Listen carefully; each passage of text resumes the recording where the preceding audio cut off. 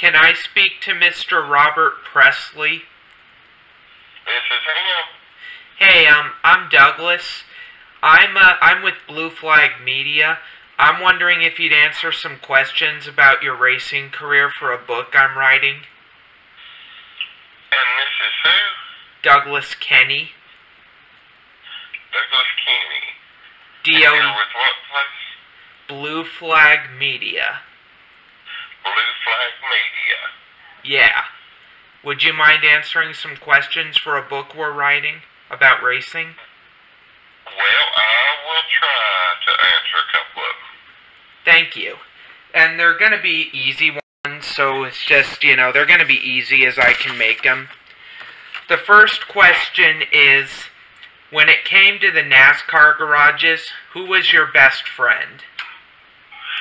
Uh, really, you just had a lot of friends. I mean, the camaraderie was everybody got along really great. Now on the track, it was a little bit different, but you know, I, I can't just pinpoint one was the best friend of anybody.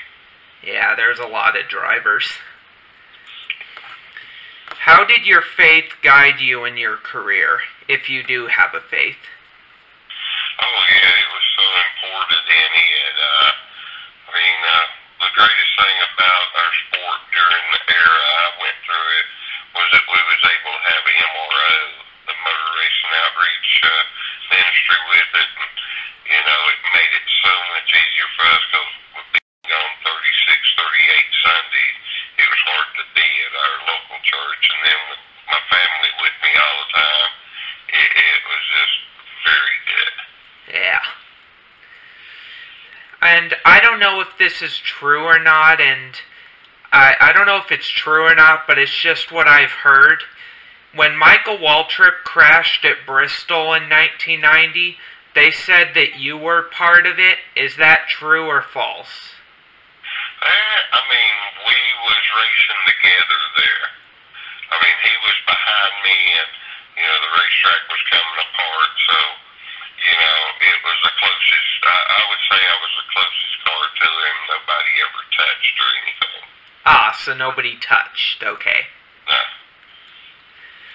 So, when you were briefly on Kevin Harvick's bumper at Chicagoland back in 2001, do you think if you would have gotten under him, you would have won that race?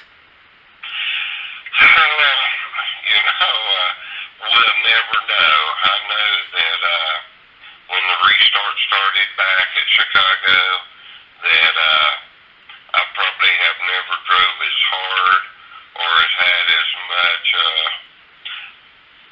willpower as what I was trying to do that day to, you know, just be able to get there enough to take the air off of him or be able to get inside of him.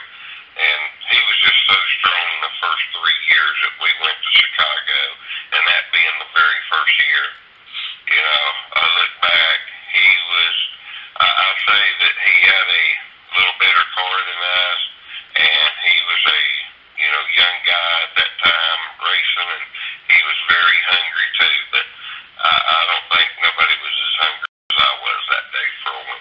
Yeah, I really got, as a huge racing fan, I gotta really give you one on that. To be honest, if you're racing against a champion like Kevin Harvick, you know, that's something that, you know, people are gonna remember you for, they say. Yes. But I, I have to give you one on your run because not a lot of people can say that, you know, they had a chance at winning a race like you, you know? Uh, I wish we could have got one. You know, we got the Busch wins and the truck wins, but you know, I always say Chicago was the best finish we had and the closest we ever come to winning. Yeah, I really, yeah, everybody was really impressed with your run. I, that's what I can tell you. And uh, another question I have is, uh, which is the best Indianapolis 500 you watched in your life? You know, I can sit and say I have never watched the Indy 500. I have watched bits and pieces of it, but has never sat through watch when, you know, I just always liked as a young guy as I was growing up. But I've never really been interested in the IndyCar side of racing. Oh, are you serious? I mean, that is odd, you know. We was just always, you know, I may say it, just never got interested in dirt racing or modified racing was just strictly, you know, like the stock car end. Yeah. Yeah. There was there's been a lot of good finishes. It's kind of hard for me to say which one's my favorite, to be honest. And uh, this is the final question I have. If you ever got another top opportunity to race in cup like with Hendrick or Joe Gibbs or Penske, would you take the offer even though you're kind of out of the sport? Uh, if I mean, 20 years ago or today. Well, You're it- talking about today. yeah, I'm talking about today. No, absolutely not. I mean, they is. I left Homestead uh, for my last race, and I've helped my son, you know, for uh, ten years racing.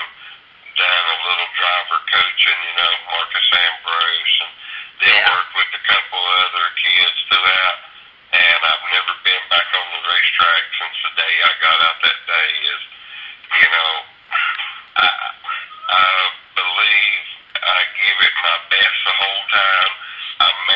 may